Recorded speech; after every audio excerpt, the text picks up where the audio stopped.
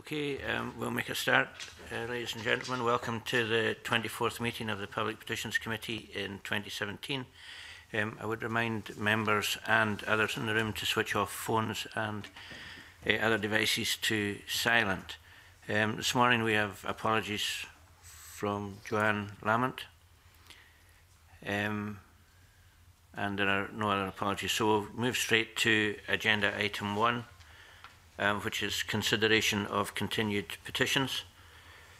Um, the first item on our agenda is consideration of continued petitions, and, and the first petition is uh, PE 1602 by Carol Sunnox on ECGs and heart echo tests with antenatal care. Our last consideration of this petition was in September last year when we agreed to defer further consideration pending publication of updated guidance on cardiac disease and pregnancy by the Royal College of Obstetricians and Gynecologists. In April of this year, the Royal College advised that it had decided that there was no requirement to update its guidance on cardiac disease and pregnancy, as NICE is developing guidelines on intrapartum care for women with pre-existing medical conditions or obstetric complications and their babies. The Royal College indicated its hope that these guidelines will become the up-to-date reference for clinicians. Now, in her submission, the petitioner highlights her view that the scope of the guidelines being developed by NICE centres on pre-existing conditions or obstetric complications. But, and I quote, there is nothing that looks at antenatal care that includes ruling out the possibility of peripartum cardiomyopathy, eh, end quote. which women develop as a result of pregnancy. She argues that the introduction of a blood test would allow for in-depth testing and treatment before a woman goes into labour by identifying any indicators of potential peripartum cardiomyopathy.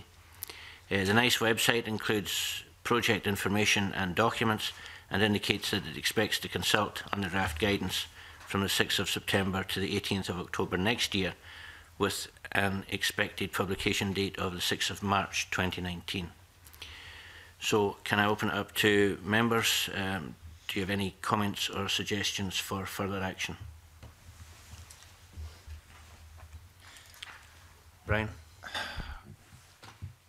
I, I think it's in, in, in, the, in the outset, I think it's quite difficult for us to do anything um, with this uh, until such times as NICE guidelines come out. However, um, I do I do think it's uh, perfectly possible for this committee to write to that uh, uh, uh to nice when they're developing these guidelines and bringing this petition uh, to their attention and uh, the concerns of the petitioner to their attention. Um, I'm not quite sure what else we can do while they're developing the guidelines apart from apart from that to do that. Michelle Valentine. Yes, I would agree. I think we should write to NICE and ask them to consider the inclusion of um, looking at how they manage people who don't have a pre-existing condition and recognising that, that it can um, occur during pregnancy. Um, and then I think we have to, this time, probably close the petition. And then once the NICE guides come, guidelines come out, if the petitioner still feels that, that it's missing, she can always come back.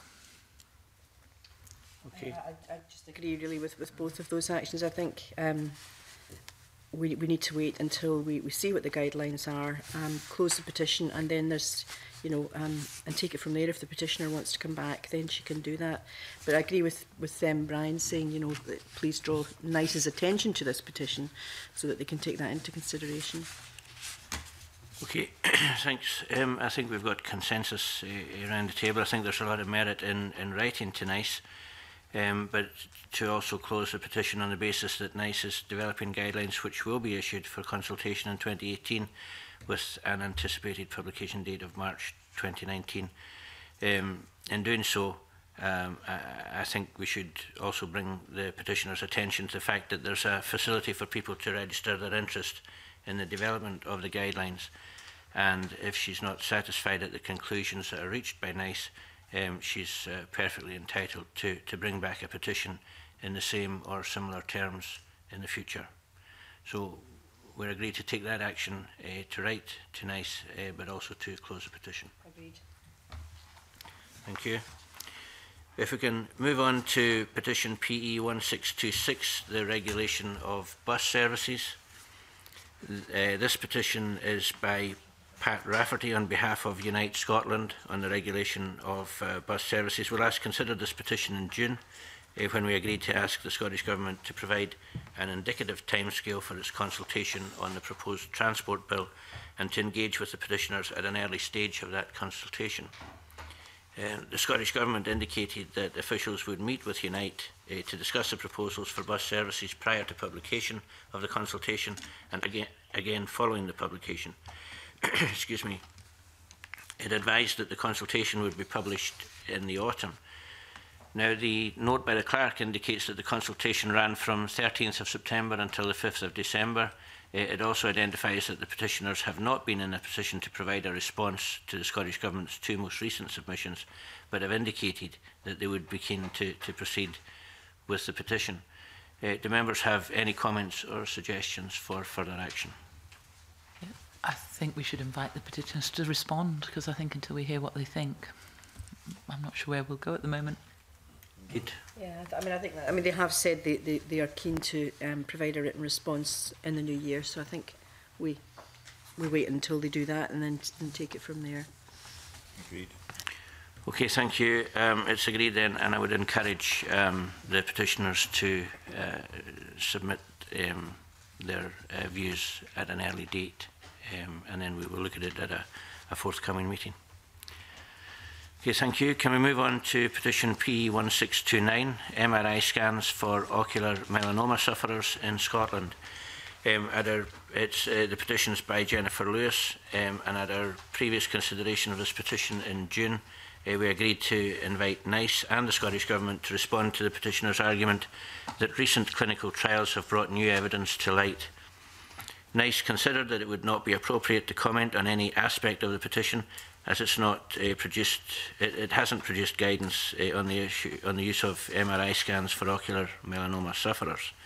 Um, the Scottish Government considered that there's and I quote, not sufficient evidence to enact a change in surveillance protocols for people with ocular melanoma, end quote. Uh, we also invited the Scottish Government to respond to the petitioner's view that guidelines are interpreted flexibly by centres elsewhere in the UK and that they will provide MRI scans if requested. The Scottish Government presented its understanding that MRI scans are offered in a limited capacity.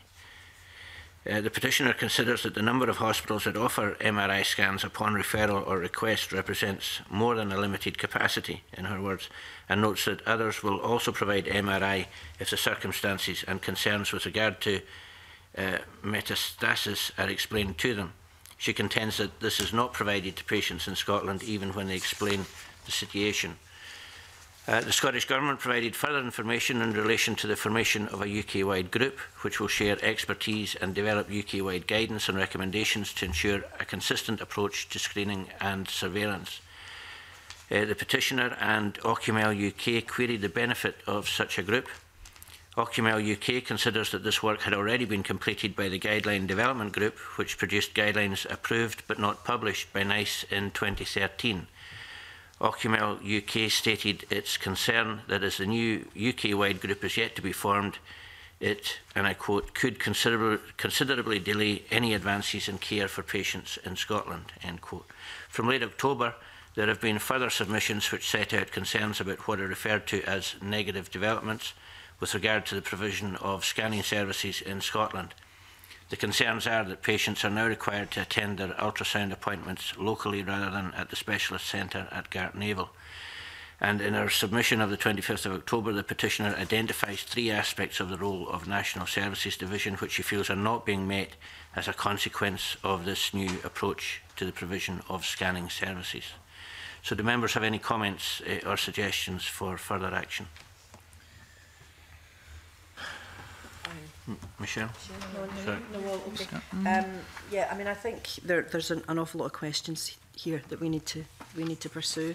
Um, the, the, it has it has been a, a negative um, response, and there still are no answers. And I note that the group um, that was set up um, in August was in the early stages, and you know, almost six four months on, we're no clearer as to what's happened, if anything. So we need to pursue that and find out.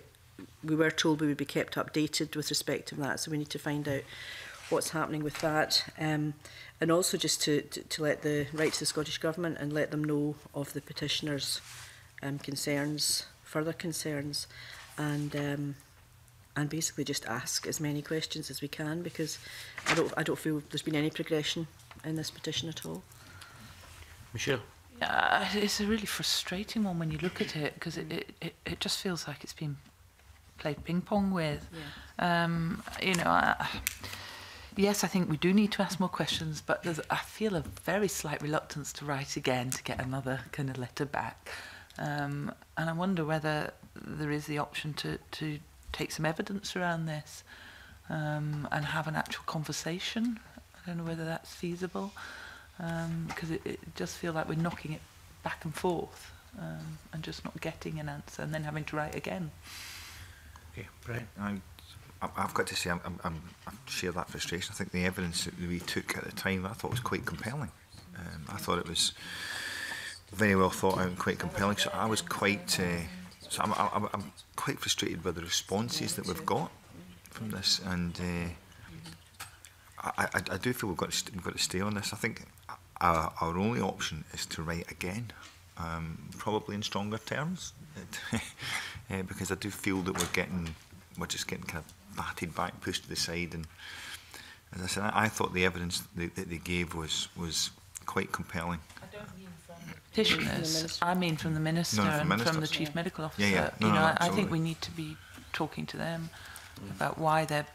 why they're you know basically ignoring this. Wonder, is, is, is there a, a, a case for, for speaking to the CMO on this? Just uh, because I'm not I'm not getting a sense of why no, I, I, why that, that, that this petition's been pushed been pushed aside. I'm not yeah. I'm not really getting that feeling from the, the, the government response. Well. there, there's certainly nothing to stop us uh, writing direct to the CMO to see what she uh, what, what, what her view is. But uh, with regard to taking evidence, I think there's an issue with regard to the, the workload that the committee already has. Um, I'm advised by the clerks that we may not be able to take evidence until possibly the end of March eh, at the earliest. So um, I think we need to move this forward and in the meantime I think we should be be writing eh, to the Scottish Government and also separately to the CMO as Brian Whittle suggested. Could we, I mean, if, if we're writing to the government and we're writing to the CMO, could we be saying that you know, if, if, if we can't resolve this quickly by, by um, written communication, then, then we will be we will be requiring them to come in front of us, and maybe that will encourage them to to really address the questions mm -hmm. because they know they'd have to come here otherwise. Yeah, I think there's there's a hell of merit in, in that suggestion. We can include that in, in any correspondence. Because I am conscious with these petitioners that that time is of the essence. This is hmm. not a petition that can drag on for years from a petitioner's point of view. Um, this, this is really, this is a life and death petition. And I, I, I do think we should suggest that we're, we haven't been particularly enamoured with the, uh, with the responses from the government at mm -hmm. this, uh, this stage. Okay, I think I think um, there's there's there's merit in, in all these suggestions. Um, now, uh, in, within the letter to the Scottish Government, we should uh, seek an update on establishment of the UK-wide group and the development of guidance and recommendations on surveillance, whether the group will include medical oncologists and whether it is aware of the guideline development group. Uh, we should also seek its position on recent peer-reviewed evidence and also seek its response to the more recent concerns expressed by the petitioner uh, and other uh, others in terms of, of where patients should attend for surveillance. So, is that agreed? Agreed. Thank you. Um, if we can move on to petition PE 1632, concessionary transport for carers, uh, by Amanda MacDonald.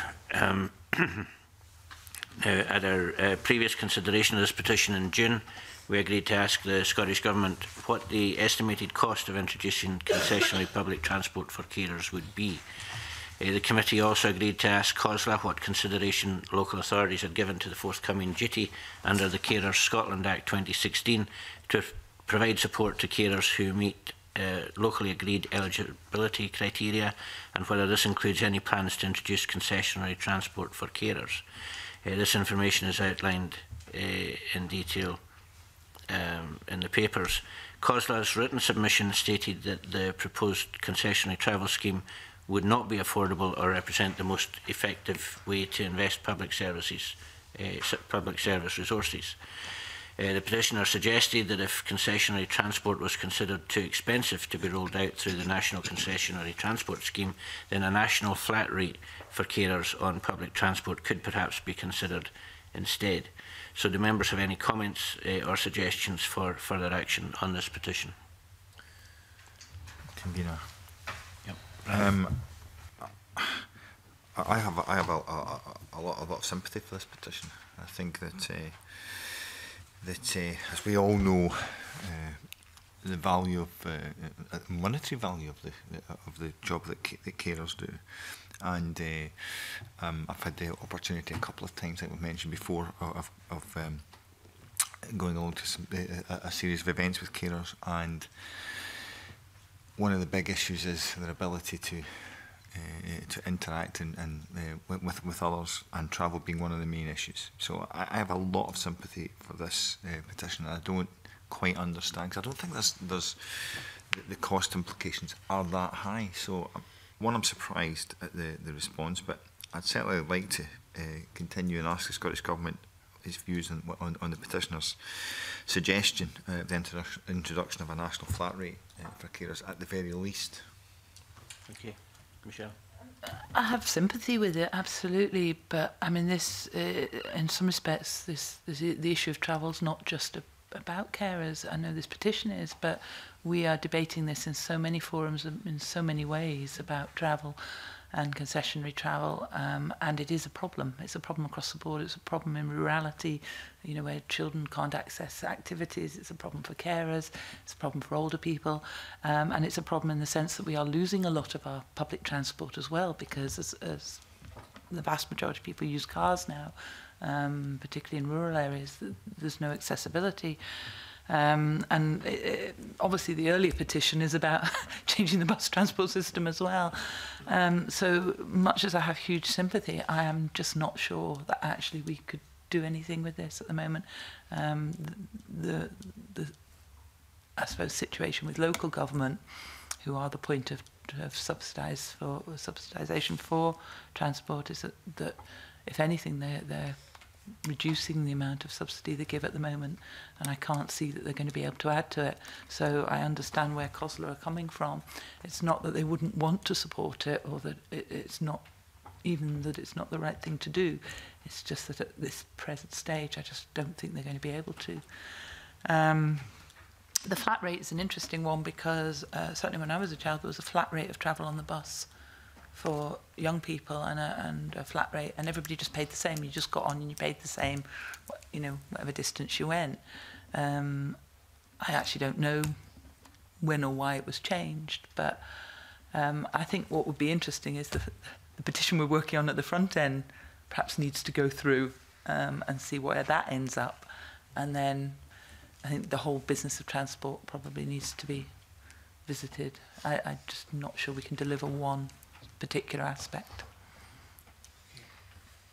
Yeah, I mean, Cosler are, are clearly and, and, and um, understandably coming at this from a budgetary point of view and, and the restraints on them, and I can understand that. Um, but I do think it would be worthwhile um, asking the Scottish Government for its views on the introduction of a flat rate and whether they would consider that that would be acceptable, um, because I don't think we've gone down that road before. So I think that would be probably you know, sort of last chance saloon for it, to be quite honest. But because I can't see, um, free, I don't think that, that the free travel what, that the petitioner is asking for is realistic, but and I do have sympathy with it.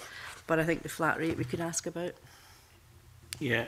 Okay. Thanks. Um, um, clearly, there are cost implications, as have been been highlighted by COSLA. But I think this committee would be failing in our duty if we didn't explore the issue of a of a flat rate. So while there's, there's, there is an argument to, to close the petition, uh, I think we should explore the issue of a, a, a flat rate further. Um, and uh, I think that's agreed by everyone around the table. So, so that's uh, the next course of action uh, agreed on uh, PE 1632. Okay, if we can move on to PE 1638 by Sean Clarkin on local housing allowance uh, brackets bedroom tax 2 close brackets. At our previous consideration of this petition in June, we agreed to write to the Scottish Government and the Department for Work and Pensions. Um, the UK Government has since dropped its plans to introduce local housing allowance rates to the local rented sector and the petitioner has informed the clerks that on, the, on that basis uh, he wishes to withdraw the petition. Um, So taking that on board, are we content to close the petition or do members have any comments or, or further suggestions? Okay, we're agreed to close that petition and can I thank the petitioner for uh, the action that he took and uh, bringing the issue to the attention of the committee. If we can move on to uh, petition PE 1653, active travel infrastructure uh, by Michaela Jackson on behalf of Gorebridge Community Trust. Um, at our last consideration of this petition in June, we agreed to write to the Scottish Government, SusTrans, Scottish Environment Link and WWF Scotland. The Scottish Government's written submission makes reference to a wide range of plans in place to support active travel and cycling in Scotland, including a new trunk road, walking and cycling strategy, which was due to be published in September. Uh, however, members may wish to note that the, the clerks were unable to source the strategy on the Transport Scotland website at the time of preparing the note for this petition. The submissions received from Sustrans and the petitioner raised concerns that the Scottish Government's target of 10% of all journeys being taken by bike by 2020 is unlikely to be met unless a fundamental change is made to the way that, that infrastructure, uh, that, that, that these infrastructure projects are designed. Um, suggestions made in the written submissions received to improve the chances of this target being met include increased funding, amending the current approach to the appraisal of transport projects and establishing a legal framework for active travel in infrastructure projects. So do members have any comments or suggestions on further action? Convener. Um, this this um, submission by the Scottish Government where it says the Trunk Road Cycling Initiative aims to ensure that all major road projects are given careful consideration to suitable provision for all road users. As you will be aware, uh, I'm quite involved in the A77 upgrade uh, the Maybole bypass and one of the the, the, the, the questions that I did ask the Minister was was there going to be a, uh, a provision made for active travel to which there isn't. So that particular uh, uh, submission by the Scottish Government is is uh, is yeah, is contradictory. So I certainly would like to explore that further because I, I, feel quite strongly that uh, this petition uh, is certainly going along the right lines. Um, I think if, if we have any infrastructure projects um, and we want to future proof them, and we do want to do the 10% of journeys by uh, by bike we have to do that. We have to start join, joined up thinking. So I, I would certainly like to question that from the Scottish, right to the Scottish Government on that. And I, I also note that we didn't manage to find that on the website. And I would certainly like to inquire where that is. Yep. Okay. Anyone else? No, I, No. I think we should write back to them and say, yeah, uh, you know, just what is your position on the legal, you know, on the legal framework and. Okay. Yeah. Um, I think uh, the committee's agreed to, to proceed on that basis. Um, I know that uh, the, the, the issue of the 10% target has been raised quite a bit in the Chamber. Um, and, uh, and I know that I've discussed it privately with, uh, you know, uh, officially with, with uh, Pedal for Scotland and uh, other bodies. Um, I think as, as Stuart Stevenson said in a committee meeting the other day, it, it's always good to set a target high because there's always a, a chance that you can reach it rather than setting a target, a mediocre target uh, and and not reaching it. So yeah, there's there's a lot of uh, um, merit in, in writing to the government to seek uh, further clarification on this. Yes. That, that's agreed. Thank you. Okay, if we can move on to petition PE 1658 um, by Wendy Stephen on compensation for those who suffered a neurological disability following administration of the Placerix vaccine between 1988 and 1992. At our first consideration of this petition in June, we heard evidence from the petitioner eh, and we agreed to seek the views of the Scottish Government and in light of the historical nature of the issues raised in the petition to seek the views and further background contextual information from the Medicines and Healthcare Products Regulatory Agency and the Commission on Human Medicines. Uh, submissions from the Scottish Government and the petitioner are uh, included in uh, the papers uh, that you've received from the, the clerk. So the Scottish Government notes the historical context and states that it has no plans to set up a scheme as suggested by the petition on the basis that the issues on the basis that the issues raised in the petition including safety of medicines, the policy on compensation for vaccines damages and administration of the vaccine damages payment scheme and the policy for payments under that scheme are all reserved to the UK Parliament. The Scottish Government suggests that the committee may wish to contact the Department for Work and Pensions as a body responsible for administration of the Vaccine Damages Payment Scheme. Um, now, the petitioner expresses her understanding that any payment under the Vaccine Damages Payment Scheme is not the same as compensation, and that by referring to the scheme as compensation, the Scottish Government is causing confusion. She considers that in its submission, the Scottish Government acknowledges the damage caused by the Urabi, I think that's the uh, correct, pronunciation, containing Placerix vaccine. Uh, she refers to examples of other injuries and disabilities that predate devolution, including hepatitis C, uh, thalidomide and exposure to asbestos. She considers that these have been acknowledged and compensated, noting in particular the Damages Asbestos Related Conditions Scotland Act 2009. Now, the petitioner considers that it is entirely unacceptable, in her words, for the Scottish Government to not set up a scheme for ex gratia payments eh, as called for in her petition, given the damage caused by the vaccine in this particular instance. So, do members have any comments? Yes, um, Rona. From my understanding correctly, um, we didn't get anything back from the MHRE or the Commission on Human Medicines. They didn't respond mm. to our request for further information. So I think we should uh, ask them again if they would respond. Um, and most certainly um, write to the, the DWP, as the Scottish Government suggests, um, and, and see where we go from there. Okay, anyone else? No. Brian? can we, how do, I, I'm wondering how we close this loop from the petitioner here who's suggesting that, and I don't know the answer to it, uh, but suggesting that uh, the, the thought that the Scottish Government is, is, is being disingenuous um, or causing confusion, whatever is around the, comp the, the idea of compensation. I'm not quite sure how we close that, because I'm not sure whether, whether that's correct or not, but uh, how, do we, how do we do that? Advice on it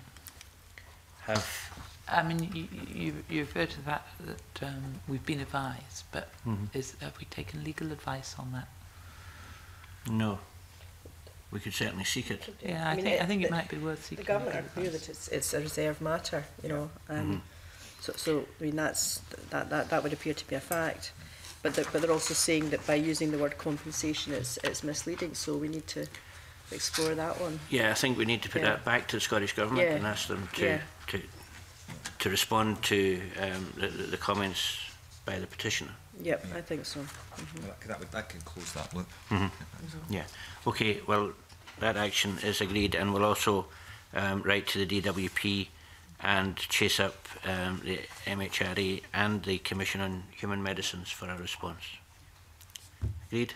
Agreed. Thank you.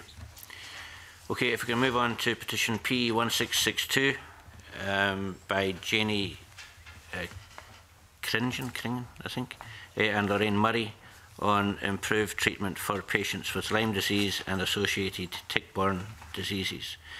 Um, we first considered this petition in September uh, when we heard evidence from the petitioners and agreed to seek the views of a range of stakeholders. The submissions received are supportive of the petition and discuss a range of issues around testing for, treatment of and education about Lyme disease. Uh, we've a wealth of information which uh, members have had the opportunity to read, uh, which I'll try to summarise as briefly as possible. Um, in relation to testing, uh, the Scottish Government advises that the testing laboratory at Rigmore liaises with experts at Public Health England to ensure access to the most robust and scientifically justified testing regime available. Uh, however, the Scottish Government recognised that there are gaps in the effectiveness of the tests and notes that uh, NICE guidelines, which are expected to include consideration of the effectiveness of testing, are currently in development and will be considered by the Lyme borreliosis subgroup once published, and this is expected to be in April 2018. Uh, the Royal College of General Practitioners in Scotland is represented on the group developing the NICE guidelines and adds that it's taking forward work with the University of Leicester on a new research method of blood tests. Lyme Disease UK and Lyme Disease Action refer to uncertainty and complexity uh, and patients being caught in the middle due to the current limitations of NHS blood tests. Lyme Disease UK considers that testing should be extended and suggests upgrading the testing laboratory at Rigmore to a reference laboratory and extending its remit to cover all tick-borne infections. Uh, and the Scottish Government notes that this is under consideration. All of the submissions acknowledged the need for greater awareness and education among both the public and professionals. The Scottish Government, Scottish Natural Heritage and the Royal College of General Practitioners highlight a range of work being taken forward, including the development of professional resources such as podcasts and webinars and appropriate information resources on websites including Health Protection Scotland. The Royal College provides information about its e-learning course, which has registered over 2,000 users since its launch in September 2014. Uh, eh, and the Royal College notes it is difficult to measure the percentage of Scottish GPs who have completed the training, as the course is not restricted to a GP or Scottish-only audience. The petitioners indicate that they are encouraged by the general agreement among the responses that more needs to be done to tackle Lyme disease – Uh, they do, however, express their disappointment with the draft NICE guidelines, which they consider to be very narrow in scope. The petitioners welcome support for the suggestion of a special, specialist treatment centre and the argument for pilot specialist clinics, and they also strongly support the elevation of the testing laboratory status to reference laboratory. The petitioner summarised the response, response with suggested actions which they indicate they would like to see taken forward within a Scottish National Plan for tick-borne infections, similar to that developed in France. The petitioners also draw their, our attention to the, the, the French National Plan. So that was a brief summary. um, do members have any comments or suggestions for further action? Oh, and uh, before we move to, to members, can I uh, welcome Alexander uh, eh, Burnett, who has joined us. Uh, he's, he's had a significant interest in this issue uh, for some time. Uh, and I'll, I'll ask you to come in later uh, once we've uh, had contributions from the members. Um, Brian. Convener, I, I mean, it's quite interesting in the, the that NICE themselves uh, are, are suggesting there's currently insufficient uh, quality of evidence So the, there's a recognition here that uh, more has to be done. And, and given that the, the, uh, the guidelines are expected to be published in 2018, April 2018, um, I would suggest that we would defer further consideration until that point, uh, given that their recognition that it's not that, that the current system is not robust enough, and uh, see how they're going to tackle that. Okay. Um, I, I agree. Um, I mean, I think um, given that you know it's a matter of months till we get the guide, the new guidelines from NICE, it would be I'm, I'm not sure it would be um, productive for us to do anything until that because we can consider where we go after we, we see those guidelines. Okay, and can I um, just check? Have we flagged NICE these concerns? Yeah. So we we did flag it. Yeah. So they're aware of the. Mm -hmm. the thing. Um, I mean, obviously, we've got to see what they do. The draft obviously wasn't great, but you know, hopefully they might have revisited it. That's why I just wanted to ensure that we have actually flagged to them. Um, so yeah, we're going to have to see what they publish. Um, I'm concerned if they don't broaden them a wee bit, because mm -hmm. Lyme disease is pretty awful. Okay, yeah. Can I ask Alexander Burnett to come in at this point? Yeah, uh, thank you very much, Convener, and can I thank the petitioners for continuing uh, bringing this very important subject uh, to the committee. Um, I think it's very disappointing. Um, you know, we're having to wait till April uh, to see uh, something which we're expecting to not be uh, uh, satisfactory. Um, I think that you know, this is a subject which has been through Parliament knowing over 10 years ago. I think it was the first time we found uh, records of uh, cross-party groups or events happening uh, to, to highlight it. Um, clearly, since then, nothing significant no significant progress has been made. You know, the evidence shows that you know in sort of four years only, only three percent of uh, GPs have taken up the the, uh, uh, the courses available. Um, the disease becomes uh, ever more prevalent uh, and the risks uh, to uh, uh, very important groups of people who we are encouraging to use uh, and go into the countryside are, are increasing all the time uh, from, from children on, on school groups and Duke of Edinburgh schemes, um, uh, the increase in, in walkers, uh, I'm sure I don't need to you know, go on at length about that, but you know, we're encouraging people to go out into the countryside and they're going back uh, to, to urban areas uh, where the disease is not being recognised uh, and and still uh, very little seems to be done about it. So, yeah, I do understand that you know four months yeah might not seem a long time Uh, uh, to wait for uh, what is the next stage. Uh, but if we're already expecting that next stage to, to not be satisfactory, I think it's going to seem an awfully long time uh, to, the, to the petitioners and those else, the others who have been campaigning with them. So yeah, I'd be disappointed if, if that's the only course of action. I'm afraid I don't know what else was within the remit of a uh, petitions committee, but you know, you know, you know, the petitioners have put forward uh, you know, proposals and suggested actions uh, for a Scottish national plan for tick-borne infections, uh, and I just wondered if the committee could uh, uh, push that in any way. I don't know how that comes about. Is it by requesting the government to bring forward plans for, for such a plan? Brian. I think, I mean, Alistair Burnett makes, makes, makes some good points, and I think I'd certainly, at the very least, um, uh, we, we surely it's within our uh, remit to be able to write to NICE with the concerns around the draft, uh, the draft proposals to say that we don't feel that they're tackling enough or, ta or tackling enough of the issue or, or a broader scope of the issue. That, that must be perfectly within our remit to be able to do that. Yeah. Is, is and, and I totally take on board what Alexander's saying about you know, having to wait for nice. But actually, until we see what nice right, we can't demand a change. Uh, it's sort of a catch-22, isn't it, really? Because the, the guidelines, you can write to NICE and say, you should be looking at this and you should be doing this. Um, and that the draft is not satisfactory and we need to, you know, see that. But we can't make demands uh, of the government. We can highlight, and I think we already have highlighted, that this needs to be reviewed but they're going to say automatically, well, we'll see what NICE say. You know, so we're going to go around in circles until NICE publish. Um, and only once NICE have published, and, and indeed, if, it, if, if, as you suspect, it's not going to be satisfactory, then we can say, this is not satisfactory and we need to do something different.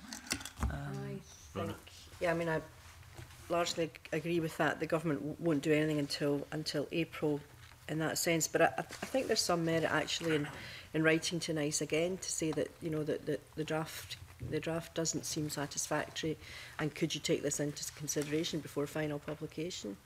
I, I mean, I don't see that that's eh, you know I think that's going to be possibly worthwhile, but I don't think it's. I mean, clearly that nothing will happen uh, concrete will happen until the, the until April. But I think it's worth flagging up. Um, I know we, we probably did, but it's worth again saying that we've had this meeting and you know there's significant concerns about the, the guidelines and, and perhaps they could take that into consideration because it's not finalised yet. Brian. I think if, if we preempt um, sort of nice publication by suggesting that the draft publication uh, doesn't meet what we were hoping, um, they'll they'll at least know that this is not going to go away, and they have to yeah. they, then they're going to at some point have to eh, revisit it. So yeah. maybe by preempting it with a with a, a, a letter to Nice, that, that at the very least. Uh, eh. okay. okay, Alexander, later come back in. I think I think well, but know, the, the delay till Uh, the NICE report is disappointing. It's, it is understandable, and I think you know, everyone will understand the committee's position on that. Uh, I just wondered, is there anything that can be done about uh, pushing for the Scottish National Plan and those actions? Okay, well, again, it might be an idea to wait for the NICE guidelines um, to come out um, before before that's pursued. Would you agree? well, I don't think the government commit to that until no. they've seen the NICE guidelines. Yeah. So we're kind of yeah. in a catch-22 situation yeah. at the moment. We really have to wait until April, yeah. um, until the uh, NICE guidelines um, um, come out. But I, I would share the petitioner's disappointment and, and members' disappointment with, with the narrowness of the, the, the current uh, NICE guidelines. But there's certainly um, a need to, to write to NICE just to make sure that uh, our views are, are on the radar. Uh, in advance of, uh, of April 2018. Um, be worth, I mean, if, if we are sort of anticipating that there is, we're not going to get what we want from NICE, uh, is it worth actually, um, I suppose, scheduling um, a meeting evidence for very, very close to when, soon after they come out, so that we've actually ring fenced the time? so that we can address it very quickly and maybe, you know, sort of potentially ring, you know, save the date for people we might want to take evidence from so that there isn't then another delay when NICE comes out and then we have to schedule in sort of down the line. So at least that way we're not letting it drag out any longer than it has to. Mm -hmm. um, because I, I, I do think it's really frustrating and none of us want to have to wait till April, but I think there's just a, a pragmatic realism in that Um, but if we could concertina the process a wee bit by planning ahead. Mm. Okay, mm-hmm. um, we can ask the clerks to, to take note of that and, and they can come back uh, to a future meeting with a proposal for um, ring fencing sometime uh, for that uh, evidence session. But I agree with you 100%. Uh, eh, um, this has been dragging on for, for too long and uh, it, it needs to be needs to be sorted, to coin a phrase. So um, are there any other comments on this uh, at the moment? So we're sorry, Michelle. I suppose I would, I would just say if we if we're going to sort of plan ahead, it, it might be worth um, even asking the petitioners who who they think we should be taking evidence from. Obviously, not only themselves, but mm. but other individuals that they would particularly feel would be relevant. Okay, I think the clerks will, will, will mm. take that on board uh, as, as a matter of course. Um, so uh, we're agreed with that uh, course of action uh, and can I thank the petitioners for their uh, response to this uh, very serious issue um, that I, I've been following for a number of years myself. So um, look forward to progress on it in the near future. If we can move on to petition PE 1664. Uh, it's a continued petition uh, on greater protection for mountain hares by Harry Hayton on behalf of One Kind. Um, at our last consideration of this petition in September, we agreed to write to the Scottish Government, SNH, Scottish Land and Estates, and James Hutton Institute, uh, and the Game and Wildlife Conservation Trust. Uh, members will note that some of the submissions received made reference to the fact that SNH recently conducted a review of existing evidence on mountain hare populations Uh, the findings concluded that evidence of a national decline in mountain hares is not conclusive, but North East Scotland data shows a dramatic decline in numbers since 2003. Uh, eh, as there's no evidence of a long-term decline overall, the Scottish Government does not support a nationwide moratorium on mountain hare culls. However, the petitioner is of the view that given the lack of evidence available, uh, the unregulated and unmonitored killing of mountain hares should not be allowed to continue. SNH intends to address the status of hares on northeast grouse moors through the new principles of moorland management guidance on sustainable hare management, uh, which has currently been drafted by the Moorland Forum. However, the petitioner raised concerns that there has been no consultation outside of the forum membership or transparency as to how the guidance is being developed. The Scottish Government also intends to set up an independently led group to examine how to ensure grouse moor management is sustainable and compliant with the law and the control of mountain hares will be considered as part of this review. So do members have any comments or suggestions for further action? Brian.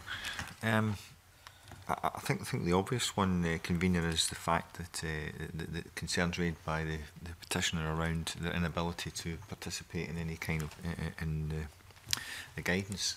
I think perhaps one of the obvious things for me would be to to you know ask the Scottish government what uh, how they can allow uh, con contributions from from you know the public mm -hmm. on on that guidance. Okay. Okay, are we agreed then? I think, I think So we're agreed to ask the Scottish Government what opportunity there may be for members of the public to contribute to the development of the principles of moorland management guidance uh, and for more information about the scope of the independent group uh, on grouse moor management in relation to the control of mountain hares. Okay. That's agreed. Um, if we can uh, move on. to um, petition PE1681 uh, on adult consensual incestuous relationships and marriage. This is in similar terms to two previous petitions lodged by the same petitioner. Uh, the most recent petition was considered by us at our meeting on the 15th of September 2016. At that meeting, we agreed to close the petition on the basis that the Scottish Law Commission undertook a report on this issue as recently as 2007 and concluded that the majority view at the time favoured retaining the offence and the current definition. So do members have any comments?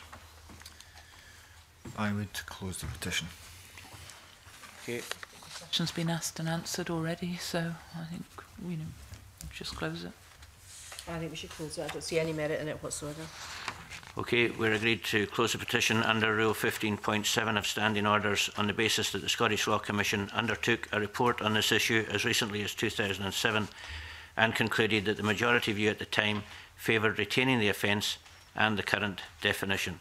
The petition is closed.